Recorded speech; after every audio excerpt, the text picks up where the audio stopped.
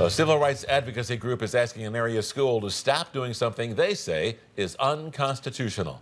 Good evening, everyone. I'm Gene Burke. And I'm Casey Wheelis. Thanks for joining us. Our Melissa Warren joins us now with more on why this group is concerned about what's happening in a Logan County school. Melissa?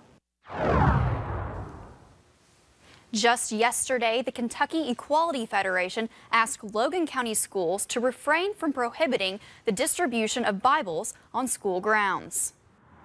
It was at Auburn Elementary in Logan County where one parent claims a small red Gideon's Bible, similar to this one, sparked controversy.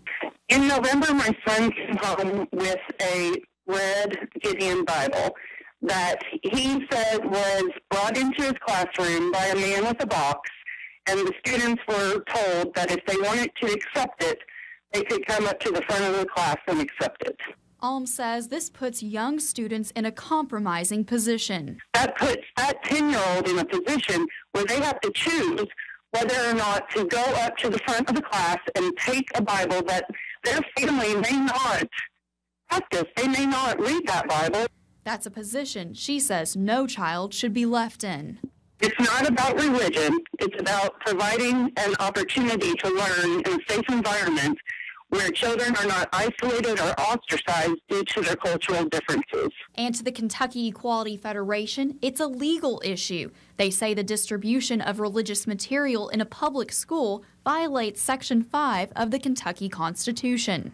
You know, first of all, that's not legal, it's not constitutional. But even if it were, if they can legally hand out one religious uh, publications, and they can also hand out other religious publications.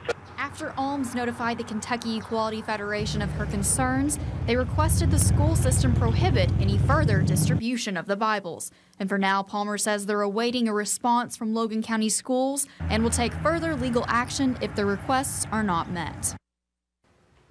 I spoke with the superintendent of Logan County Schools today, and he declined to comment other than to say they are working with the school board's attorney to evaluate their options and plan to respond to the Kentucky Equality Federation with their decision soon.